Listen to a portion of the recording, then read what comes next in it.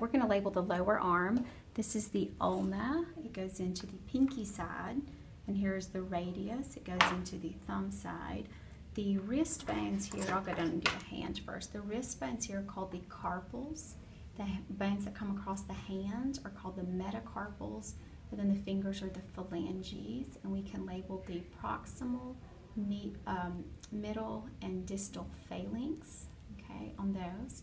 And then uh, on the on these two bones, notice that the ulna, okay, the ulna looks like this. It's got a C. The top portion of the ulna is called the olecranon process. Down here, it's called the coronoid, coronoid process. And then this carved out area in here is called the trochlear notch. Okay, and then uh, we can label the styloid process, okay, down here. Styloid just means pointed process. And then on the radius, okay, we can label the head. We can label this little notched area, not notched, but raised area, we call that the radial tuberosity. And then it also has a styloid process, okay, in here.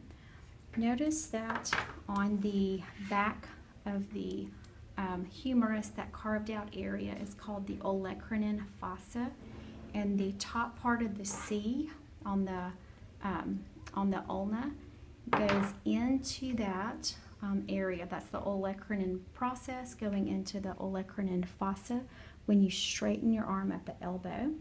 And then on the front side, we have a coronoid fossa, and then the bottom part of the C here was the coronoid process. And when you bend your arm at the elbow, the coronoid process on the ulna goes into the coronoid fossa and the humerus.